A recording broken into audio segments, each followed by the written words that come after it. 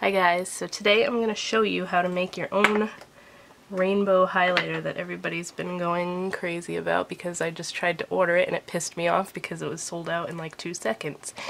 So I decided to make my own and you're going to need an empty pan, which this is an old um, Maybelline Master Highlight that I just cleaned out and then took a cotton swab to with uh, a cotton ball with alcohol to clean it. Then a little mixing palette just to mix the colors. And then you're going to need alcohol. It doesn't really matter what, uh, this is just 70% isopropyl rubbing alcohol. I've done it with all kinds, so it pretty much works with every kind you use.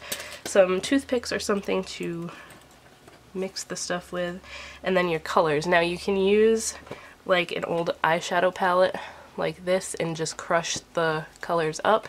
But I'm going to use loose pigments just to eliminate that step. So these are Glamour Doll Eyes ones. I have a reddish pink called Be Mine. I have an orange called Jailhouse Jumpsuit. A yellow called Electric Lemonade. A green called Immature. A blue called Vanity. A purple called Glam Girl. And then I have a little sample of the Guerlain meteorites pearls all crushed up to make it like extra shimmery. These are already pretty shimmery, but the I'm trying to make it as close a dupe as possible to the highlight that's been for sale. So I'm gonna just have my little pan here and ready to go and then all you have to do is make a paste out of each color by mixing a couple drops of alcohol and some of the powder. I just want to make sure that I have enough to fill up the pan. So I'm probably going to use most of this, which is okay because I haven't used these in quite a bit. And then I'm just going to do a little squirt at a time. It doesn't matter if you put too much because the alcohol just evaporates anyway, it's just going to take longer for it to dry. But this is the same idea as if you break an eyeshadow and you try to repress it. That's all we're doing here.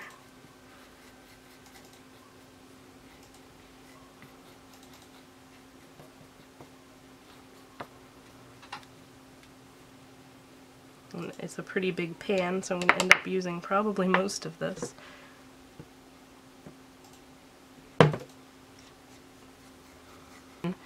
To every color, I'm going to put a little bit of the crushed meteorites here.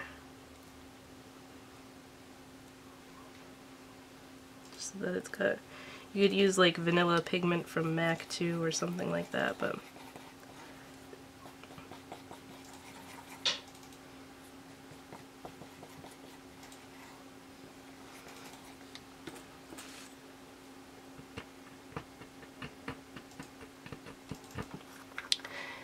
actually going to be easier to just use a shimmery, like silvery white shade than to crush up the little meteorites things. So I'm going to do that.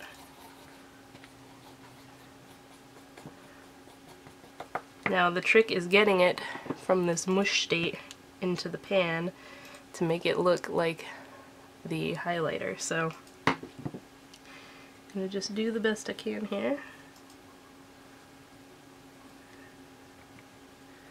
And the reddish pink color goes first.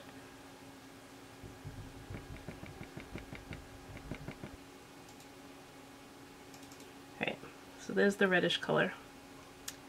That's going to get lighter as it dries.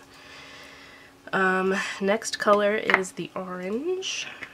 So same thing, we're going to do that to all of the colors and then I will come back.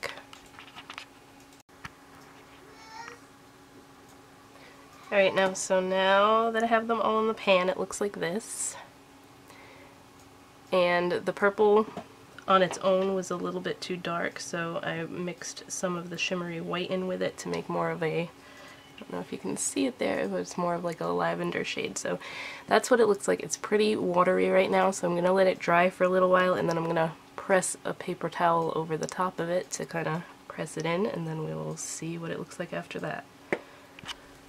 Alright, so this is going to be the last step before I have to let it dry for a few hours at least before we can test it. But um, you just take a paper towel don't worry about messing it up because basically all this does is soak up the liquid from it. If you've ever pressed, repressed a broken eyeshadow or a blush or anything, you already know this step. So, doesn't have a cute pattern on it or anything, but this is gonna do the job for what we need it to do. So you basically want to get out as much of the moisture as you can. And it looks pretty on the paper towel. So I'm going to do it a couple of times. And don't mind my fingers, they're all, I have eyeshadow all over me now.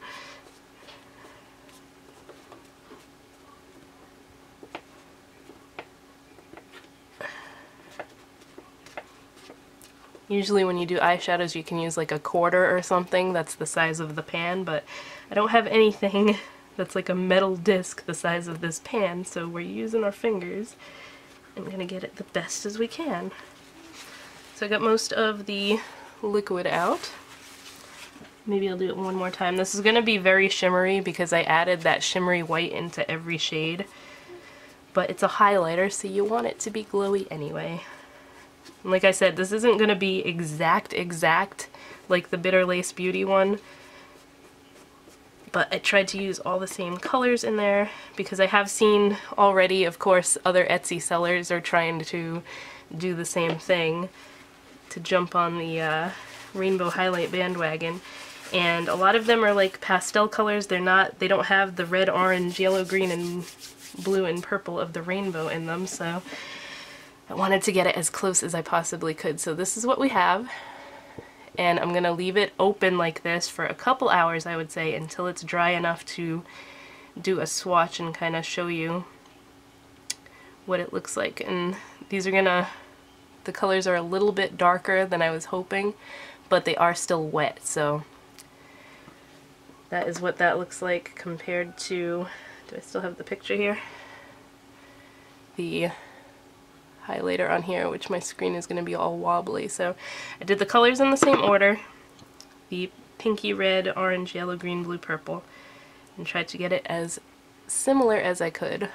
So we will see how well this uh, swatches afterwards. Oh, see it's still wet so it's going to be like insane when I swatch this.